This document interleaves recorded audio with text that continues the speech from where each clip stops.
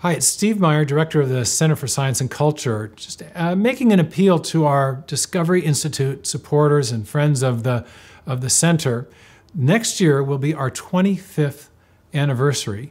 And in that time, we've now published over 150 books, hundreds of scientific articles, including uh, articles, peer reviewed articles, advancing the theory of intelligent design. We've had uh, tremendous success with our media outreach and all the many wonderful films that we've produced, documentary films, as well as YouTube video shorts. We're now doing all kinds of wonderful things in the social media, many of which I don't myself fully understand, but our wizards who do social media are helping to get our message out in lots of exciting ways.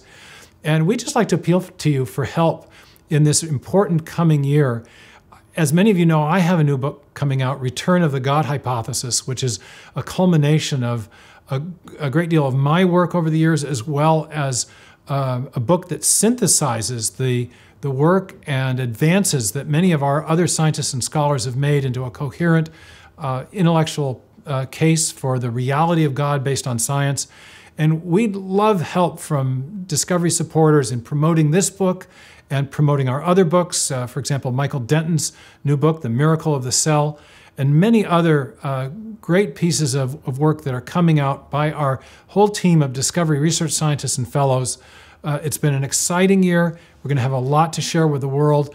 And if you could help us in getting that message out, we'd be really grateful for this coming important anniversary year of the Center for Science and Culture. Thank you very much.